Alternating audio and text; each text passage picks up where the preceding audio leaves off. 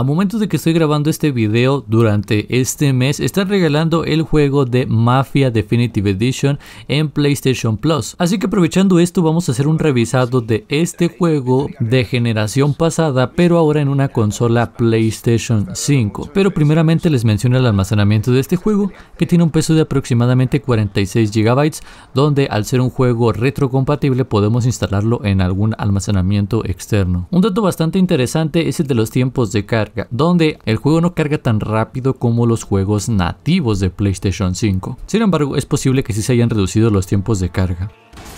Ahora bien, ya hablando de lo que es rendimiento, en este caso cabe aclarar que estamos ejecutando un juego retrocompatible de la PlayStation 4, en este caso en su versión Pro, por lo cual en la PlayStation 5 se estaría ejecutando la misma resolución y FPS, aunque ligeramente mejorados o por así decirlo más estables. Es decir, en la PlayStation 5 Mafia Definitive Edition se estaría ejecutando a una resolución de 1440p y únicamente 30 FPS, que bueno, en la PlayStation 5 parece ser una resolución nativa y en la actualidad se sigue viendo bastante bastante pero bastante bien, bastante decente, incluso en pantallas bastante grandes. Ahora bien, gráficamente la verdad es que el juego se ve muy pero muy bien, obviamente teniendo en cuenta que estamos hablando de un juego de pasada generación y sobre todo donde se nota más esta calidad gráfica es en las cinemáticas, pero desafortunadamente ya en gameplay a ver si se puede notar algunos defectos gráficos. ¿A qué me refiero con esto? Pues bueno, por ejemplo, he notado que a veces los bordes de sierra pueden ser bastantes notorios, además de que en ciertos momentos pareciese como si bajara la resolución del juego por lo cual se pierde calidad en algunas texturas. Y otro detalle que se me estaba olvidando es que la distancia de renderizado es bastante corta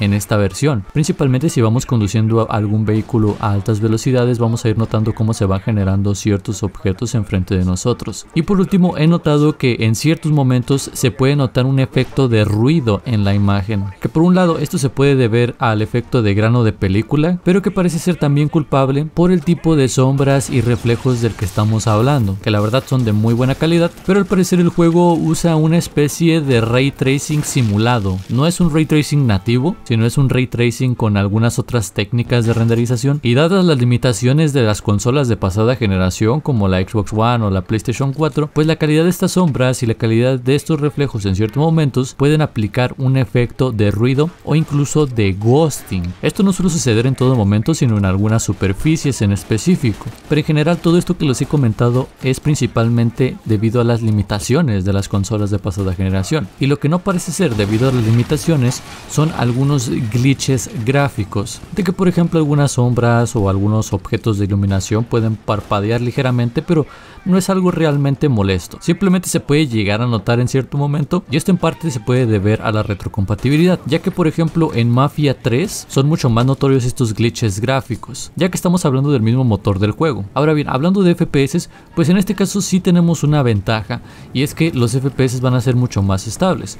Pude estar viendo por ahí algunas pruebas en la PlayStation 4 Pro y el juego se mantenía bastante estable con ciertas caídas.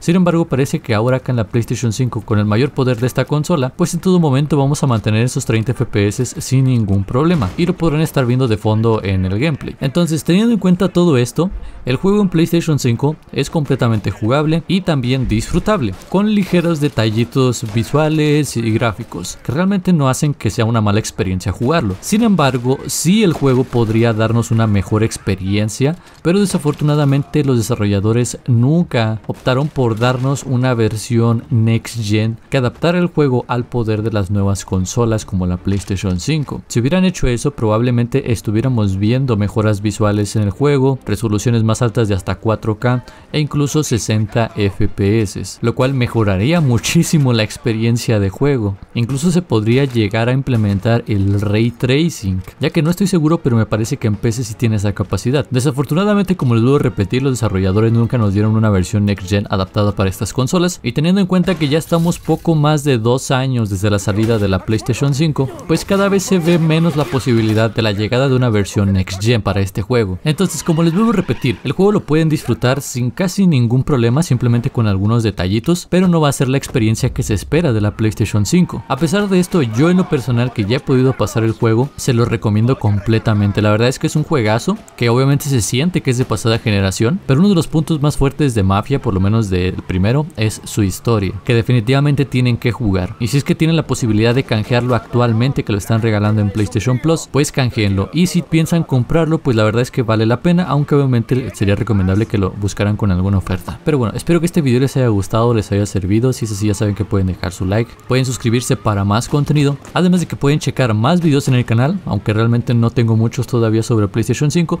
pero en los comentarios pueden dejar alguna sugerencia sobre algún juego interesante que les gustaría que le hiciera un revisado, sobre todo que se encuentre en PlayStation Plus. En fin, ya saben que si quieren apoyar al canal pueden convertirse en miembros o pueden dejar sus super gracias. Pero bueno, nos vemos a la próxima, gracias por ver y adiós.